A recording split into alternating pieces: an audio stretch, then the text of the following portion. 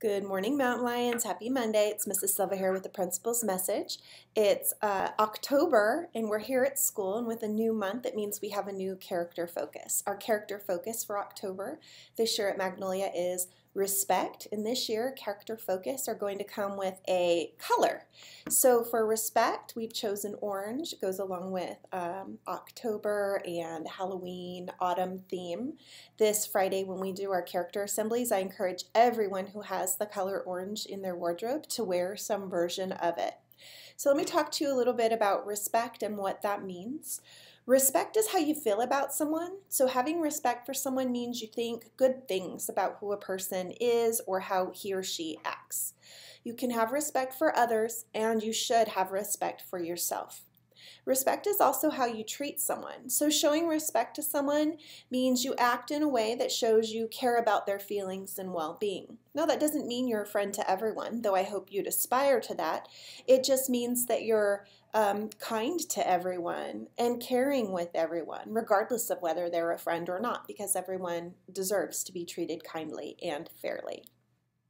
Before I do green ticket drawing today, I have some reminders for the hallway and the playground because I haven't been out. I've been in lots of meetings and have had things going on, but I have noticed a few things that have made me feel um, a little bit worried uh, because they're going on when I'm not present.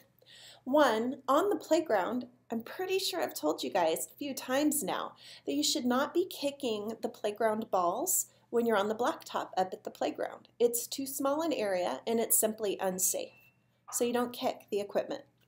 The other thing is on the bars, you're not supposed to climb up and sit on top of the bars or spin or flip around the bars. It's just unsafe. The bars are used for hanging and pull-ups, that's all. I have big plans to make um, a video with some students to help demonstrate the rules. Um, and again, it's a matter of finding time, but maybe for my fourth and fifth grade students, if you're a responsible person who always follows the rules and you'd be interested in helping me make a video about playground rules, uh, let your teacher know and he or she can forward your name to me and we'll figure out some dates and times we can put that video together. Okay, we have our green ticket winners today. So you're going to hear your names right now in the video, but you will not report to the office until recess today to collect your prize. Congratulations in advance for being caught in the act, for being safe, respectful, responsible, or being a great person of character in general. So I have Alana from Miss Leon's room. Congratulations. I have Natalie from Miss Hammett's room. Congratulations. Excuse me, I just dropped one. Oop, I'm back. I have Michael from Miss Covey's room. I have Yaretsi from Miss Stadtmuller's room. I have Perez from Mrs. Montez's room.